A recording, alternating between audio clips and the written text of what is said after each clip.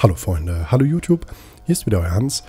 Und ihr werdet ja wahrscheinlich auch den Livestream von mir vor ein paar Tagen gesehen haben, aber ich wollte einfach nochmal ähm, ja, Gameplay aufzeichnen. Und zwar in schön, ne, weil das ja mit dem Livestream nicht so hundertprozentig rüberkommt, wollte ich euch das halt heute nochmal aufgezeichnet präsentieren, in meinem sogenannten Angezockt. So, da ich jetzt schon einiges an äh, Spielzeit habe, ich habe jetzt schon insgesamt äh, 5 Stunden 57 Minuten gespielt, bin schon siebenmal abgekratzt, abgeschlossene Quests, 26,13 Kilometer zurückgelegt und so weiter und so weiter. Bin auch schon 80 Meter hoch, ne, also hochgeklettert. Ähm, Wurfhaken habe ich noch keine gehabt, deswegen da auch noch keine Distanz zurückgelegt. Ja, und da unten steht noch ein bisschen was, was ich so getötet habe. Ja, die insgesamten, ja, da kommen dann noch Kröten. Was, eine Kröte habe ich getötet? Okay, na gut. Männer von Raiz habe ich noch nicht getötet, okay. Katastrophenhilfepakete geborgen, genau. Also hier kann man so ziemlich deutlich äh, die Statistik abrufen, was man so oder was ich alles schon gemacht habe. So, längste Verfolgungszeit war eine Minute 26. Ja, ich glaube, das war im Livestream. Da war ich auch, ja, Koop-Partner, genau, war einmal der Mackie. Und ja, wir wollen da auf jeden Fall auch mal im Livestream noch ein bisschen was zusammen starten mit mehreren Leuten. Mit dir oder vielleicht auch dir. Genau. So, einfach da immer mal auf Facebook gucken, wann wir das zocken werden. Ich würde sagen, ich werde jetzt einfach meine Kampagne mal fortfahren und dann werde ich euch ein bisschen was vom Dying Light zeigen.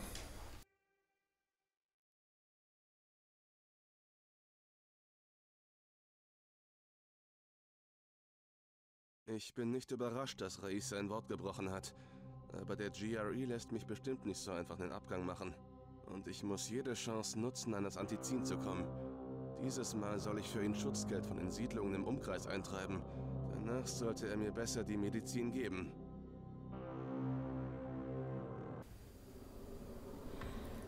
So, also wie gesagt, auf jeden Fall in jede kleine Ecke schauen. Es gibt immer oh, 42 Zoll. Das ist auch nicht Samsung, das ist hier Saman. Na, guck mal an. Ha, Wortspiel. Ähm, was haben wir hier? Ja. Ach nee, Swaman. Okay, Swaman? Swaman, stimmt. Ich habe es falsch gelesen. Und das sind auch LED. Hm. LED-TR oder was steht da dran? JR. Äh, YR, Entschuldigung. So, okay, Kiste leer. Ist natürlich nichts drin. So, der Typ hier, der hat wahrscheinlich auch nicht viel am Start. Ich weiß nicht, ob wir hier auf dem seinem Hof einfach mal ein Auto öffnen dürfen. Ne, dürfen wir nicht. Okay, wir dürfen hier nichts machen. Das ist hier nämlich ähm, Rais, den sein, ich sag mal, oh, sein Lager und, und so. Also ich finde die Grafik schon ziemlich geil. Ich hoffe, sie kommt jetzt hier auch dementsprechend rüber. Äh, warum das hier blutig ist, möchte ich jetzt nicht näher drauf eingehen. Zockt es am besten selber. Dann werdet ihr es wissen. So, also ihr seht auf jeden Fall hier ziemlich äh, schwer gepanzert alles. Im Laufe des Spiels werdet ihr auch mitbekommen, warum das so ist. Ja, da draußen sind halt die ganzen, ja, die töten sich auch manchmal selber. Die laufen dann auf irgendwelche Stachel zu. So, was die Steuerung angeht, ist ein bisschen gewöhnungsbedürftig am Anfang. Ihr müsst halt mit RB müsst ihr springen, aber da werdet ihr ziemlich schnell zu kommen. So, ihr seht schon, die sind immer ziemlich angefressen, die Jungs. Und wenn ihr aber auf, äh, ich sag mal, Erhöhungen seid, wie jetzt hier zum Beispiel auf dem Auto oder da drüben auf so einer Mauer oder Dächern, da kommen die nicht so leicht hoch. Ähm, was ihr allerdings vermeiden solltet, ist Krach. Warum? Zeige ich euch nachher.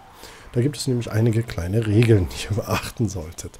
So, ich muss jetzt, wo muss ich hin? Ach, ich soll da rein, wieder zu diesem Rais. Stimmt. Warum gehe ich denn jetzt raus? Genau. Ich werde, äh, wenn es recht ist, nichts von der Story jetzt äh, spoilern. Ich werde euch einfach mal ein paar Sachen zeigen. Ah, da, der tötet sich wieder selbst. Ist der Hammer, was die Jungs so machen. So, jetzt vibriert das Pad. Wenn das Pad vibriert, also auf der Xbox One ist es so, dann wird dementsprechend ein, genau, Flugzeug kommen und der wirft diese Kisten ab. Und diese Kisten könnt ihr dann, wenn ihr schnell genug seid, könnt ihr sie einsammeln. Können wir gerade schauen, wie weit wäre die Kiste weg. Wird mir nicht angezeigt. Ähm, ich gehe mal gerade auf das Menü ein. Das hier ist so gesagt euer Inventarmenü. Das wird mit der Bildschirmtaste geöffnet. Da habt ihr ganz vorne die Karte. Also hier war ich jetzt überall schon. Alles, was so weit aufgedeckt ist. Alles, was noch dunkel ist, wie hier hinten oder hier so die ganzen Kanten, da war ich noch nicht. Alles andere wird halt nach und nach aufgedeckt. So, diese grünen Häuser sind wichtig für euch. Die roten müsst ihr noch einnehmen. Das sind sogenannte Sicherheitszonen. Da können wir gleich mal gucken, ob wir da mal eine säubern. Ähm, da gibt es immer ein paar Zombies, die man erledigen muss und dann ist das Ding eigentlich gesäubert. Ähm, kann ich euch gleich mal zeigen, weil das ist nicht so wirklich von der Story irgendwas Ausschlaggebendes. So, dann können wir jetzt mal hier einfach mal schauen, was da so los ist. Also wir werden jetzt als erstes mal hier den, den Typen mal entkommen. Ich habe jetzt keinen Bock auf Schläge und so Mist. So, ihr merkt schon, das ist ziemlich schnell. Das ist auch generell so. Ihr könnt hier so richtige Parcours-Dinger absolvieren. Also wenn dann so viele Dächer sind. So, wir hatten ja gesagt, wir gehen mal zu diesem... Alter, was willst du denn? Nein, ich möchte kein Heiratsangebot von dir. Lass mich einfach in Ruhe. Du bist hässlich. Nein. Und außerdem fehlt dir ein Arm. Ach nee, dir fehlt kein Arm. Aber trotzdem, guck mal dein Kleid an. Das ist schon total zerrissen. So, ähm, lass uns mal gerade auf der Karte schauen. Da drüben. Dann legen wir uns da einfach mal einen Wegpunkt. Das ist also quasi hier direkt dahinter. So, jetzt haben wir uns einen Wegpunkt gesetzt. Genau, ich wollte euch das Menü noch zeigen. Also hier sind Quests, ne? da könnt ihr dann quasi nachlesen, was ihr eigentlich erledigen solltet. Da will ich jetzt nicht drauf eingehen, damit ich hier nichts spoiler. So, dann Inventar. Hier könnt ihr Sachen erstellen. Ähm, ah nein, Inventar ist das, was ihr besitzt. So, ne? Zum Beispiel hier seht ihr zum Beispiel, habt Kaffee oder sowas und da seht ihr dann rechts den Wert. Kaffee könnt ihr dann in sogenannten sicheren Häusern, wie wir es eben gerade bei diesem Rais waren, da ist es sehr sicher. Da können wir dann Sachen veräußern. Ne? Hier sehen wir jetzt zum Beispiel Kaffee, hat 100 Dollar Wert. Äh, da gibt es noch Kippen und was ihr nicht alles so findet. Also die Preise stehen dann immer unten rechts. Ähm, es kann aber allerdings sein, dass euch äh, verschiedene Sachen dann in diesen Shops, das sind sogenannte Shops, wo ihr dann hin, können wir vielleicht mal hingehen, ist nichts Gespoilertes, muss ich euch da mal zeigen. So, Entwürfe. Das ist ziemlich interessant, weil hier könnt ihr natürlich Sachen herstellen. Ne? Hier bräuchten wir jetzt zum Beispiel Alkohol und Mull. Dann können wir uns ein Medikit herstellen. Ist natürlich sehr wichtig. Ihr habt es gerade schon gesehen. Ich bin ziemlich angefressen. Oben links, wo das Herzchen ist. Ich habe noch 35 von normalerweise 125. Genau, Ihre Gesundheit ist niedrig. Suchen Sie nach Lebensmitteln oder versuchen Sie ein Medikit. Genau, Lebensmittel wären natürlich auch nicht schlecht. Dann kannst du das essen. Findest du meistens in so Tankstellen oder in verschiedenen anderen Sachen. So, um uns zum Beispiel dann was herzustellen, wählt ihr was aus, klickt dann einfach A, also in dem Fall bei der Xbox One, dann könnt ihr Sachen herstellen. So, Wurfsterne sind auch immer ziemlich cool, also umso schwieriger die Gegner werden, desto mehr werdet ihr wissen, was äh, das ganze Inventar so bedeutet. Ähm, wie gesagt, ich will halt nicht so viel spoilern, ich will einfach nur euch das Spiel ein bisschen zeigen. So, auf jeden Fall, ihr seht, die Viecher sind immer da. Also es gibt natürlich Orte, wo keine da sind. Ihr müsst euch auch mit denen nicht immer anlegen. Ja, ihr könnt auch gucken, dass ihr denen entkommt. So, da hinten ist jetzt diese Sicherheitszone, die wir äh, säubern sollten. Das ist diese da, genau. So, wir versuchen das mal alles hier. Hier müsst ihr aufpassen, ne? Also, guckt mal, die haben hier richtig, richtig Terz. Die also sie wollen alle in den Partybus rein, ne? Kommen sie nicht, weil, na, ist egal. Aber auf jeden Fall, da ist eine Zone, die sollten wir sichern. Müssen wir jetzt mal schauen. Ist das das Haus da hinten? Ich gehe einfach mal hin. Das Schöne ist hier, ihr könnt euch wirklich frei bewegen. Also ihr merkt sofort, wenn irgendwo Ende ist im Gelände. So, jetzt kommen wir zu der Sicherheitszone. Jetzt mal schnell hier hoch. Ich habe da was gehört rechts. Was war denn das? Nicht wirklich was Schlimmes. So, ähm, ihr könnt so nahezu fast überall rumklettern. Ähm, deswegen, hier könnt ihr zum Beispiel auch hochklimmen. Ne? Also wenn dann, wenn es dann da weitergeht, ihr wackelt jetzt hier so ein bisschen. Also man muss halt gucken. Da geht es weiter. Ah, nicht geschafft, okay. So geht es natürlich nicht. Also hier wieder hoch. Dann müsst ihr euch rumdrehen. Dann müssen wir uns das angucken. Ah, nicht geschafft. Okay. Man sollte das nicht so oft machen. Man fällt natürlich auch runter und kann sich dann da verletzen. So, der Kollege will auch was von uns. Wir wollen aber nichts kaufen. Wollen nichts kaufen.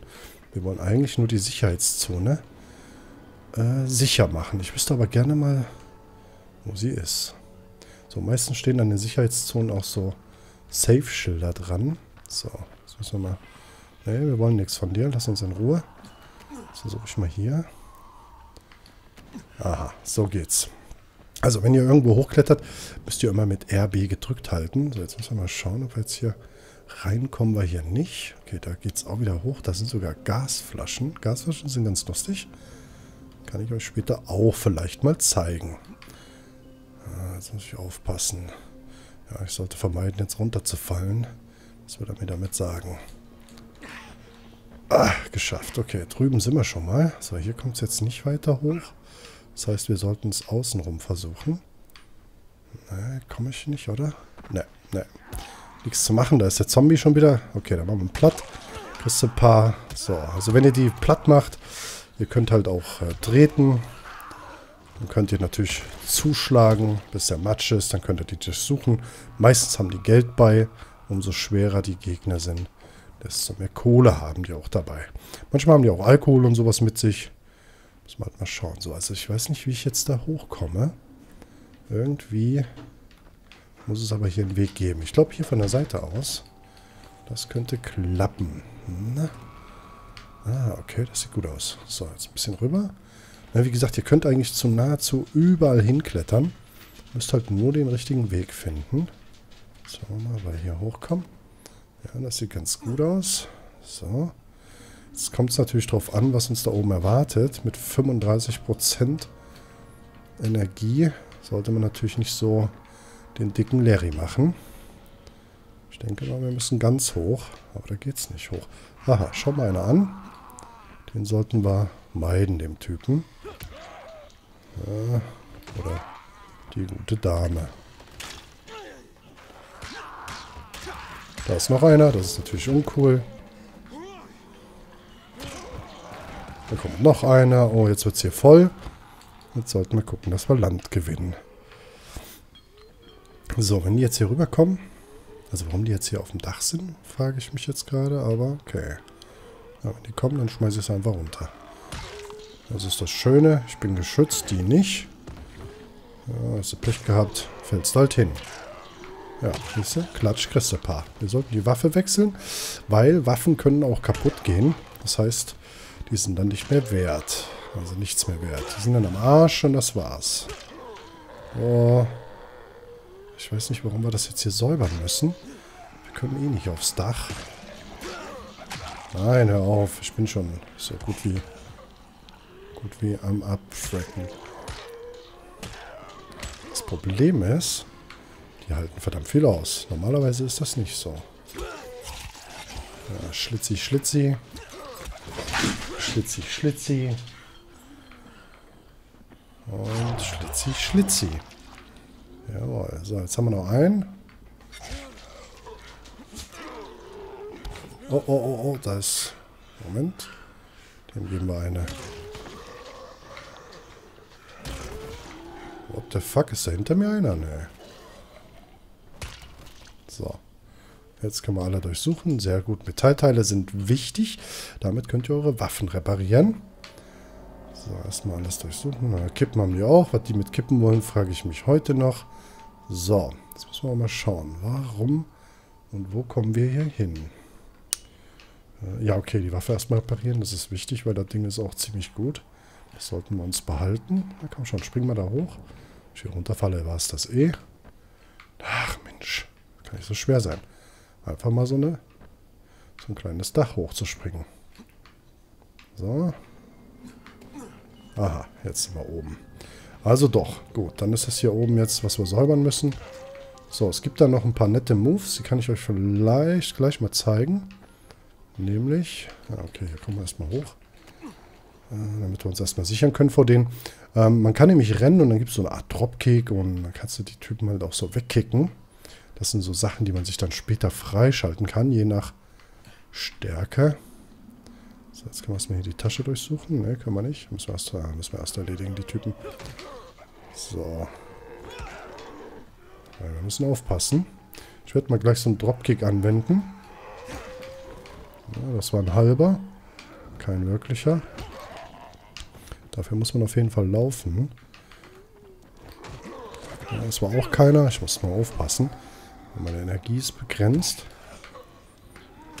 Ich habe einen Hammer, der ist eigentlich gut zu gebrauchen. Aber ich muss halt aufpassen. Wenn ich mich jetzt zu viel mit denen anlege. So, das war einer. Ja, man kann sie natürlich auch austricksen, indem man die von hinten halt weghaut oder so. So, das waren zwei. Jetzt haben wir nur noch den einen. Und mit dem werden wir jetzt mal versuchen, diesen Dropkick zu machen. Da war er. Wie im Wrestling. So, und dann hauen wir ihn platt. So. Jetzt holen wir uns die Kohle. Und dann ist der Typ erstmal außer Gefecht. So.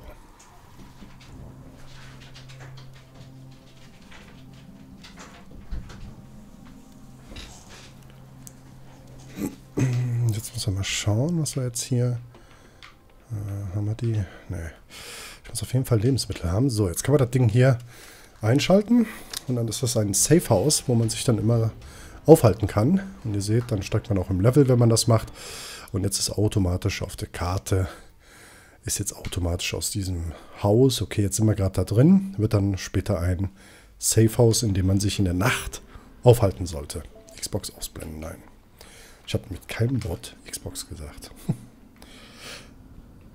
so. Jetzt schauen wir mal, ob wir jetzt hier die Tasche noch durchkontrollieren können. Ja, genau, jetzt kann man sie doch.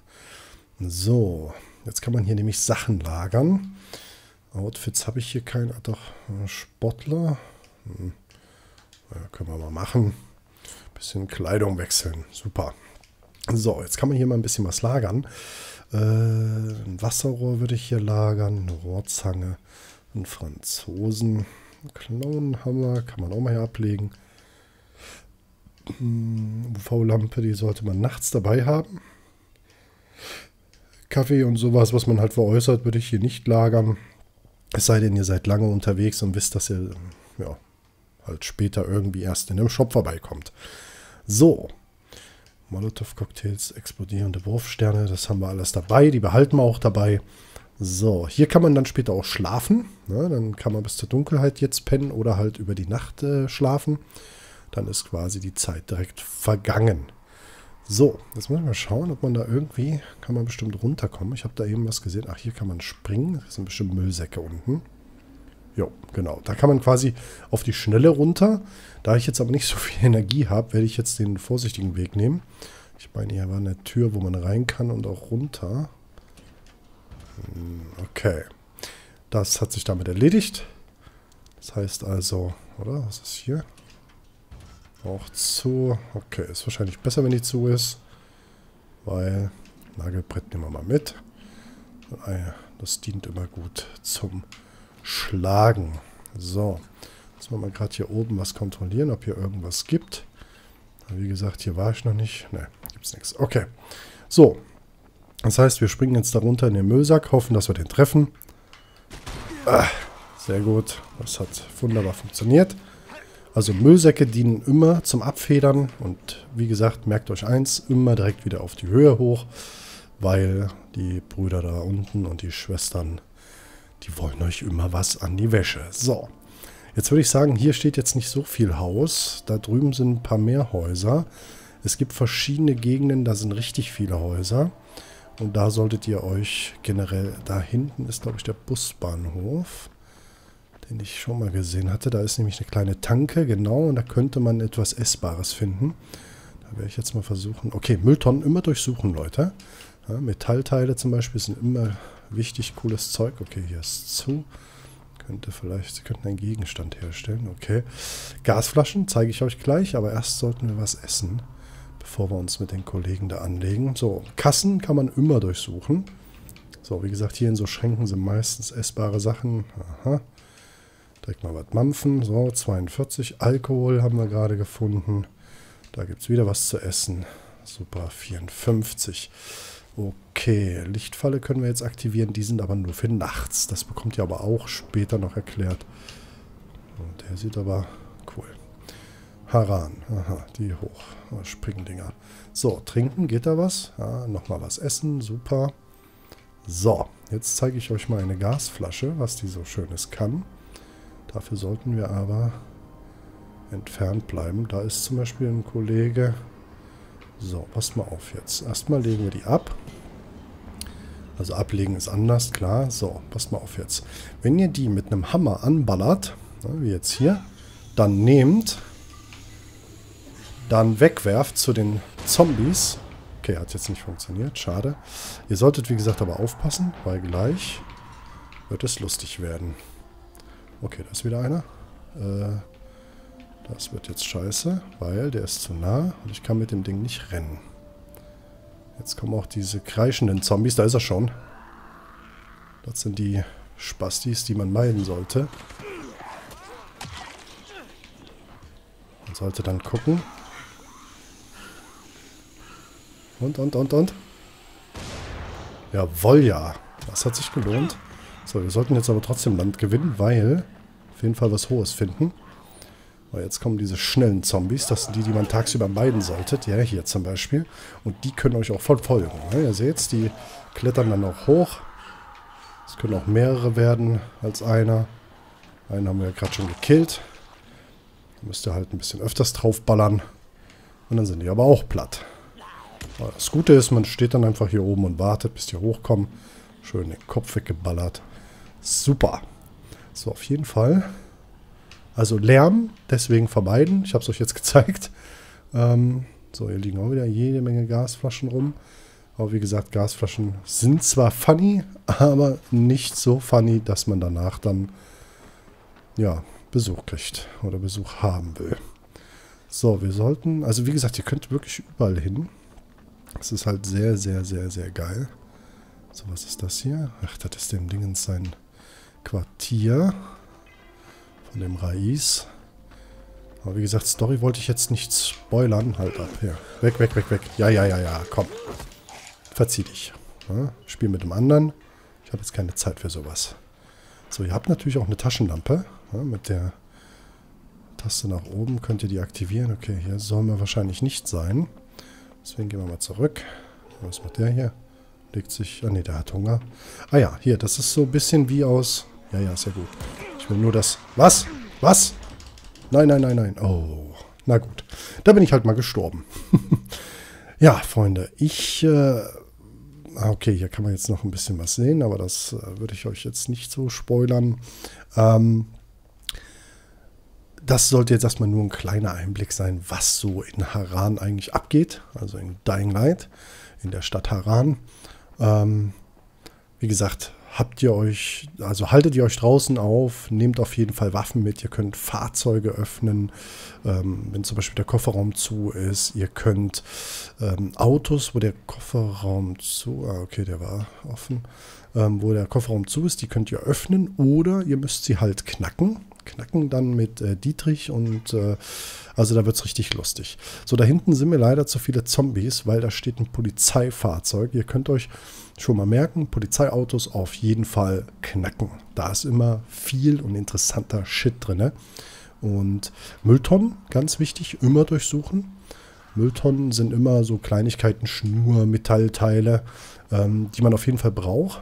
Das ist ganz, ganz wichtig. So, wir können mal schauen, ob hier irgendwo... Hier steht eine Karre, die... Oh, ne, die ist offen. Ich dachte schon, da wäre irgendwas, aber ist nichts. Okay. Also das ist so, was man sich auf jeden Fall merken sollte. Autos kontrollieren. Ähm, ja. Dann Zombies meiden. Habt ihr auch gelernt. So, mal gucken, ob wir hier... Kommen wir auf jeden Fall über die Bahnschienendinger drüber. Na, komm schon. So, zu dick. Kommen wir nicht durch. So, hier äh, die zwei Kollegen, die... Warte mal, was hat der denn da in der Hand? Dass ich das Ding haben will, ist ja wohl klar, ne? Ja, komm mal her. Also, das ist natürlich auch geil. Ihr könnt natürlich dann Sachen, wenn ein Zombie das hatte, könnt ihr euch das natürlich nehmen. Jetzt müssen wir... Oh, der hat auch was Leckeres.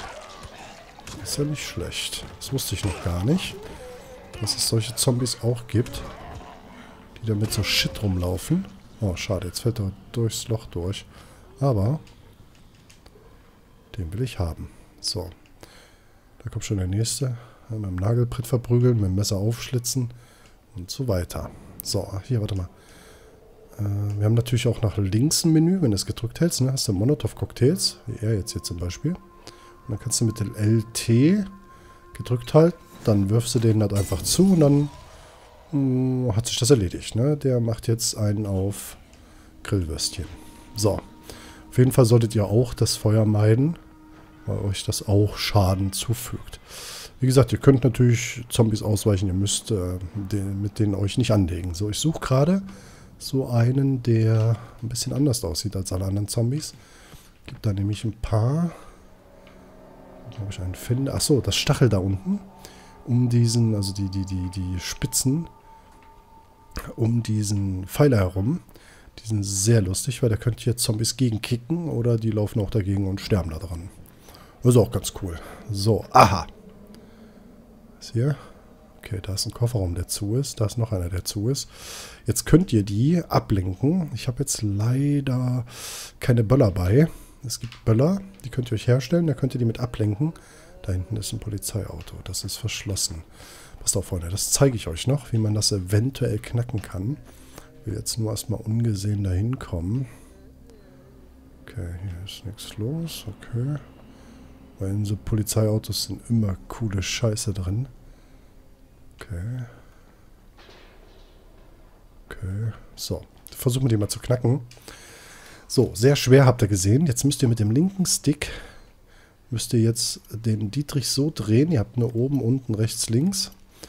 Das Pad darf nicht vibrieren. Sobald das Pad vibriert in die Richtung, wo ihr drücken wollt, ist es direkt vorbei und dann könnt ihr es lassen. Dann brechen auch die Dietriche ab. Dietriche können daher aus Metallteilen super schnell hergestellt werden. Also das ist kein Problem. So. Jetzt versuche ich gerade die Stellung zu finden, wo es nicht abbricht. Ah ja. Ja, ja, ja. Also es wird dunkel, Freunde. Das heißt, man sollte, wie schon erwähnt, auf jeden Fall Safety First, ne, sich auf jeden Fall was suchen. So, hier scheint das Schloss gehen. Ah, okay. So, genau. So werden Schlösser geknackt. Also links einstellen, Polizeiautos. Und ihr seht, da sind immer geile Scheiße drin. Gladiator. Das sind so Sachen, womit ihr Sachen herstellen könnt. So, jetzt wird es wirklich dunkel, Freunde. Jetzt solltet ihr entweder euch schnell ein Safehouse aufsuchen. Hier ist noch ein Safehouse. Sicherheitszone. Ich glaube, da werde ich hingehen, wenn ich da hinkomme. Äh, weil, wenn es Nacht wird, wollt ihr nicht hier draußen sein. Und ich auch nicht, weil ich kenne es. so. Auf jeden Fall Richtung Sicherheitszone den Arsch bewegen. Oh, oh, das war zu spät. Ihr seht die roten auf der Karte da unten. Die solltet ihr auf jeden Fall meiden. Auf jeden Fall. So, und ich würde sagen, das soll genügen, Freunde. Ich will euch jetzt hier nichts spoilern, weil ihr sollt es selber sehen. Ja, okay. Den Schlitz malt dann auf, wenn er es braucht. Und dann hat sich das erledigt. Ja. So. Wir können die Taschenlampe mal einschalten, damit wir den besser sehen, den Pisser. Oh, ich glaube, der macht uns platt. Ja, das wird nichts. Da sterben wir. Gut, ich würde sagen, Freunde, ich glaube, ich habe euch genug gezeigt. Ich hoffe, der kleine Einblick hat euch gefallen, weil das einfach, also das Spiel an sich, ich will nichts spoilern, aber das Spiel an sich hat so viel Potenzial, so viel zu entdecken. Ähm, es macht einfach Spaß. Und ja, ich denke, jeder Zombie-Freund wird daran seine, seine Freude haben und seinen Spaß finden, weil es gibt echt jede Menge Scheiße zu kriegen und zu machen. Und ich habe jetzt gerade mal, ich glaube, 7% vom Spiel. Moment. Ich glaube, ich hatte 7%. Ich weiß es nicht genau. Ich weiß nicht mehr, wo es genau stand, aber auf jeden Fall hatte ich ja 10% der Story. Oben rechts könnt ihr das nachlesen, was ich gerade habe. Also, wie gesagt, für mich ähm, ganz klar, also kein Fehlkauf. Es macht echt Fun. Man kann es immer spielen. Das ist jetzt nicht irgendwie gebunden, dass man das äh, durchzocken muss oder so. Man kann es im Koop spielen mit vier Freunden. Online, versteht sich. Ne? Man kann dann auch Quests erfüllen und verschiedene Aufträge. Und ja, ich würde sagen, quatsch mal einfach nicht lange rum. Das war mein angezockt. Kriegt von mir einen Daumen nach oben.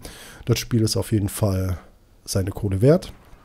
Und Techland hat gute Arbeit geleistet. Also die Macher von äh, Dead Island, wer es noch nicht weiß, ist ebenfalls äh, Techland gewesen.